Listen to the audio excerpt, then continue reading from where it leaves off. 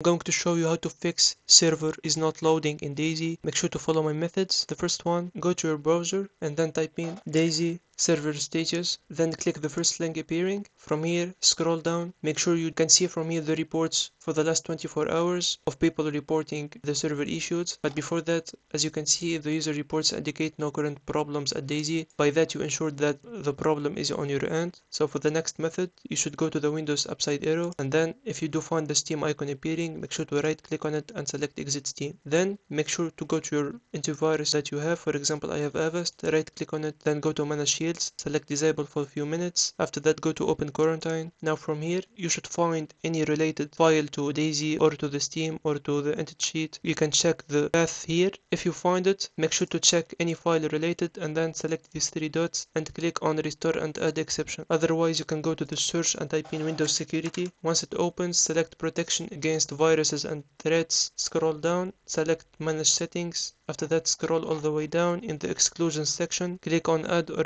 delete exclusion after that select add an exclusion and select folder. Now go to the c drive select any folder and then hit p in your keyboard. Now look for program files 86 select any folder and hit s in your keyboard. Select the steam folder and then click on select folder. It will be appearing like this. Now you're good to go so close everything. For the next step go to the search. After that type in cmd select run as an administrator. It will open like this so type in this command ipconfig space slash flushdns hit enter. Now for the last command you need to type in net space winsock space reset and hit enter again. After that close that for the next method. Go to the search and type in view select view network connections. Now look for your wi-fi like this for me. You'll find this green stairs appearing. Right click on it and select properties. Now scroll down and look for tcp ipv4 double click on it and then switch the dns servers from automatically to use the following one. And type in exactly like this. For the first type in 8888 and for the second type in 8844 after that select ok and make sure to close everything. Now for the last step and the last method you should go to reopen your steam launcher. Now go to the view option and select library. After that scroll down. All you have to do is to select the DayZ game. Make sure to have it installed already otherwise it won't work. So select this gear icon appearing and select properties. Once done